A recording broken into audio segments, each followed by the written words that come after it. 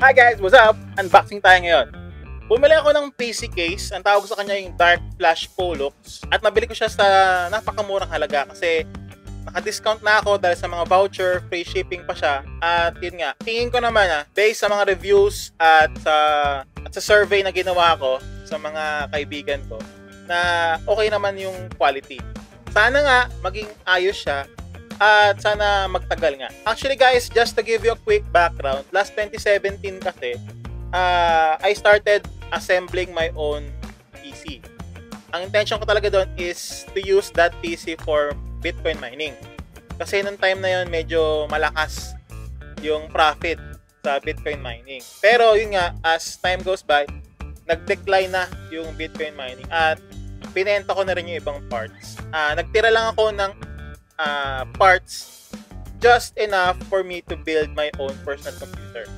At eto ngayon, medyo matagal na yon pero ngayon ko lang naisipan kasi na uh, bilan siya ng bahay. No? Dati kasi nakastock lang siya talaga sa sa amin at ngayon ko lang naisipan na i-assemble ulit siya kasi medyo kailangan ko na ngayon. Sa akin, uh, personally, mas gusto ko na ako yung nag-assemble ng uh, dahil I can customize every part. No? Unlike doon sa bibili ako ng buo na at yun nga ito, iba-ibang brand. Although mas maganda rin naman talaga na iisang brand lang. Pero ito kasi, pwede ka makapamili no? kung ano yung the best sa isang brand. Kung meron man dyan na isang brand nag-specialize sa gantong item, gantong part, mas okay. So, ito nga, uh, boboyin ko siya. Kaya samahan nyo guys, i-unbox na natin siya.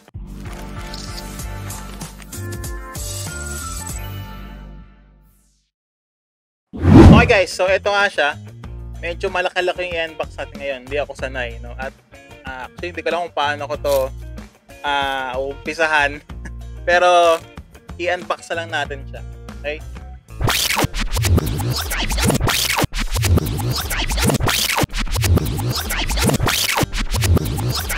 Okay guys. So, ito yung ating Dark Flash Pollux. Uh, tempered glass to. At maganda naman yung harapan. Yan. So, meron siyang kasamang dalawang 140mm na fan. At, ayan. May carbon fiber na ano siya, design. Ito, dito. Ayan. Ito yung uh, gilid. At ito yung kabilang gilid. Ayan. At ito naman yung likod. Ganda sa kanya, meron siya ditong, meron siya sa base, ito. May rubberized siya apat sa base niya. Okay? So, yan. Nasa loob yung mga wires. Uh, actually, para sa akin, ah, hindi ako masyadong bumibili pa ng PC case. Pero para sa akin, maganda yung finish. Mukha naman siyang matibay. Wala namang damage. Kahit isang layer lang yung bubble wrap okay naman yung shipping. Okay din naman yung processing time niya. Para sa akin, okay na yon Kasi after 2 days kong purchase, na-ship naman agad ni seller at maayos, mabilis naman dumating, no? Nung na-ship ni seller, kinabukasan lang na sa akin na rin. So, ayan siya. Meron pa siyang pro- protective layer dito. Pwede mo tanggalin, pero ako hindi ko agad tatanggalin niya kasi para mas tumagal siya. So, bubuksan mo lang dito para mapasok mo yung mga parts mo. So guys, para sa mga nag-assemble ng PC, ito ay nabili ko lang worth, uh, ang kanyang original price ay 2,250 pesos. Pero dahil may voucher ako at free shipping siya, at na-claim ko yung Shopee coins. So, naging 2,000 pesos lang siya. Malaking discount na rin kasi may nakita ko sa Facebook, ang price niya is 2,400 and may shipping fee pa. So, although mabilis siya kasi same day yon medyo may kamahalan. Malaki, malaki rin difference, di ba? Kasi nung time na yon tinignan ko yung shipping fee na sa mga 100 plus. So, alos 2.5 din. 500 pesos difference. Malaki-laki din yon. Pwede ka na makabili ng extra mong fan kung gusto mo. Ito nga pala guys, available din siya sa color white. Pero black ang binili ko kasi mas maganda siya. Sa totoo lang, ah... Uh, ayoko nung fan na merong ilaw. Pero ang kasama niya talaga is RGB fan. Hindi ko lang kung meron pang mga fan ngayon na walang ilaw. Pero Mas gusto ko yun kasi hindi hindi ako hindi ako nasisilaw pag gabi. No? And dito guys sa taas, meron siyang USB 3.0, USB 2.0, yung mga headphone jack at microphone, and meron din siyang power. Ito yung lang yung nasa taas. Ayan, so ito yung loob ng Dark Flash Pollux. Ito yung kanyang user manual. So, dito yung PSU, motherboard. So, again, yung complete specification ng Dark Flash Pollux ay nasa baba. And sana nakatulong ito sa mga gustong mag-assemble ng PC. Lalo sa panahon ngayon, kailangan natin ng mga computer dahil more on work from home tayo at yung iba online class. So ito guys, I would suggest Dark Flash Pollux. Uh, para sa akin, maganda yung kanyang design. Maganda yung build.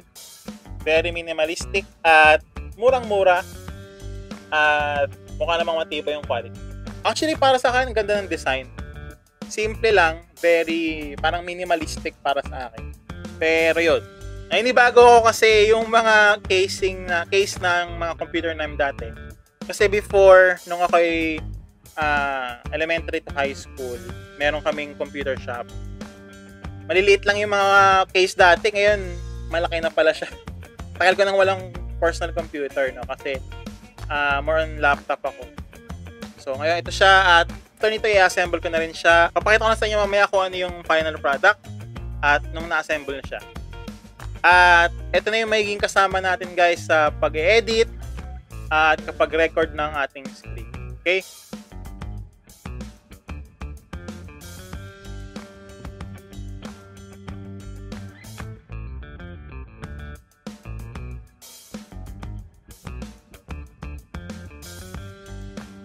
Kung nagustuhan mong video na to, hit the thumbs up button at wag mong kalimutang mag-subscribe sa channel ko para makapanood ka pa ng mga effect tips, unboxing, and videos about technology.